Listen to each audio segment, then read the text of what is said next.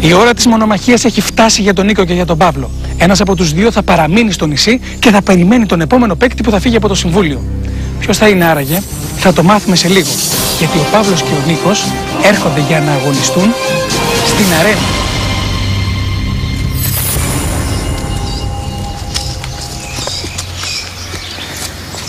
Καλώς ήρθατε. Καλώς ήρθατε. Νίκο, πώς είσαι εσύ; Τα λέμε πρώτη φορά μετά από την στιγμή που σ' άφησα να πας στην γκολ. Μια χαρά με βρήκε το νησί της γκολ. Ναι. Όμορφα είναι. Χάρηκα που βρήκα τον Παύλο. Χαρικές. Ανάμεικτα συναισθήματα. Μάλιστα. Σήμερα, αν θέλεις, μπορείς να το στείλεις στην Κρήτη. Σήμερα, αν θέλεις, μπορείς να το στείλεις στην Αθήνα. Και αυτό γιατί η σημερινή δοκιμασία θα μείνει μόνο ένας στο νησί. Σας καλωσορίζω λοιπόν στην αρένα. Η αρένα είναι μια δοκιμασία που θα πρέπει πραγματικά να δείξετε πάθος, πάρα πολύ πάθος. Οι κανόνες είναι απλοί, θα πρέπει να σπρώξετε αυτό το ξύλο ο ένας από τη μία γωνία, από το ένα γκόγκ και ο άλλος από την άλλη. Όταν λοιπόν, μια και είναι ένας κύκλος 360 μοίρες, όταν κάνετε 180 μοίρες και φτάσετε από το σημείο της μέσης του κύκλου απέναντι, όποιος χτυπήσει το γκόγκ, σημαίνει ότι έχει τελειώσει και έχει κερδίσει. Υπάρχει κάποιος αριστερόχειρας, κάποιος δεξιόχειρας; Εγώ αριστερός. Αριστερός. Ε, σε βολεύει δηλαδή; Να πάω από εκεί. Από εκεί. Ε, Σύνικο, είσαι. Κανένα πρόβλημα. Εγώ είμαι δεξής. Να Α. πάει από εκεί πέρα ο Παύλος. Τυχαίνει λοιπόν να βολεύει και για τους δυο σας τις μεριές. Εγώ είμαι έτοιμος. Πάρτε τις θέσεις σας.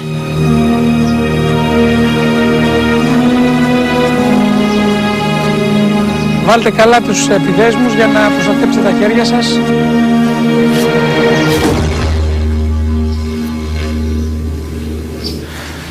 Βλέπω λοιπόν ότι είσαστε έτοιμοι. Είμαι και εγώ έτοιμος να αρχίσω την αντίστροφη μέτρηση. Τρία, δύο,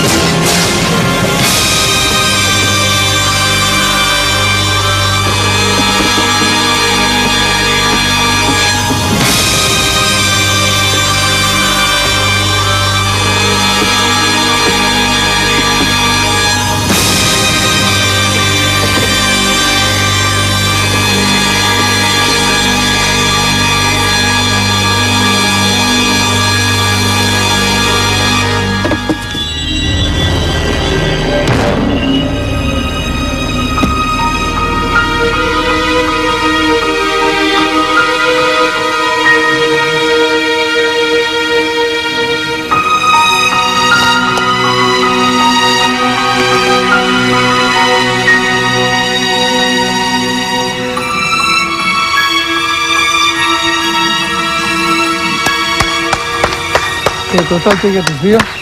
Συγχαρητήρια. Νίκο. Γρηγόρη. Συγχαρητήρια. Συγχαρητήρια, Παύλο. χαρά μου. Ήταν πάρα πολύ δύσκολο, Ναι, γιατί πολύ. είναι και πάρα πολύ βαρύ το ξύλο και δεν μπορεί να συρθεί εύκολα. Πολύ δύσκολο. Πες μου, Παύλο. Εντάξει. Ε, δεν είμαι και πολύ των, Βαρέων, βαρών. των βαρέων βαρών. Ναι. Εντάξει, το πάλεψα όσο μπορούσα. Όταν δεν, δεν μπορούσα, το άφησα γιατί. Τι καλύτερα κύπελα, Ναι. γιατί πρέπει να κοιτάζει λίγο Μην το, τον τραυματιστούμε εαυτό σου, κιόλας. να μην τραυματιστείς κιόλας. Νίκο, κέρδισες. Αυτό σημαίνει ότι περιμένεις τον επόμενο παίκτη που θα έρθει από το Συμβούλιο και παραμένεις στο νησί. Συνεχίζεις την πορεία σου προς τον τελικό. Να σπάσω το μύθο θέλω, το δύο νικών. Θέλεις να το σπάσεις έτσι; Έχω παράδοση με τους μύθες.